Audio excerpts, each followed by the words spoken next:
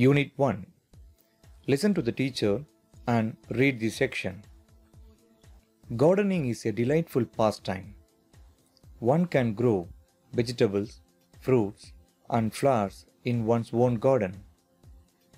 If you do not have open spaces near your home for maintaining a garden, you can set up a garden on your roof. All you need are a few old buckets or tubs, some mud, and seeds to plant. Did you know the Horticulture Society of Tamil Nadu gives soil bags with seeds to promote gardening in our houses? Stamp collection is nothing but collecting stamps from envelopes that come by mail. This hobby is known as philately. We learn about different leaders, important days on seeing the stamps. We can also exchange rare stamps with our friends.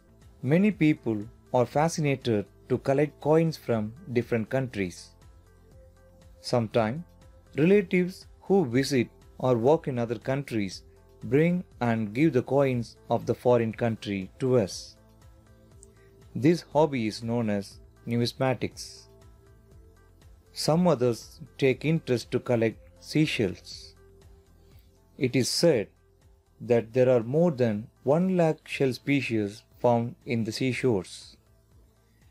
The rarest and most valuable and the most beautiful shells are found in the Indo Pacific, Caribbean, and Mediterranean regions.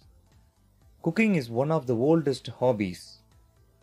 It is now even considered a life skill to know how to cook. We all should try and learn to cook.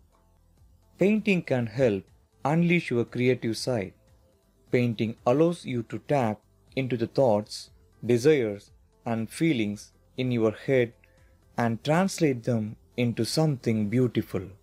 Painting relaxes our mind and helps focus better. So, go ahead and pick up a paintbrush. Teaching is a fun and useful hobby.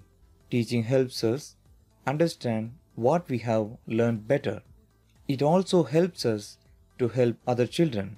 If we are good at teaching, then one day we can even become a good teacher. Web browsing helps us collect information about the latest medical invention, the new technology for phones, and news about our society and country.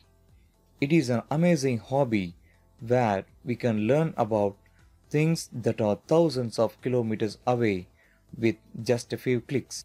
We can also share all the wonderful information with our friends.